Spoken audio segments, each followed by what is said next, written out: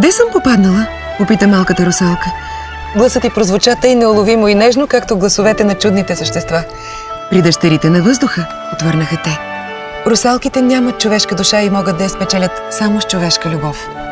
А сега ние с вас започваме една нова приказка, за да помогнем на много деца да растат щастливи и обичани.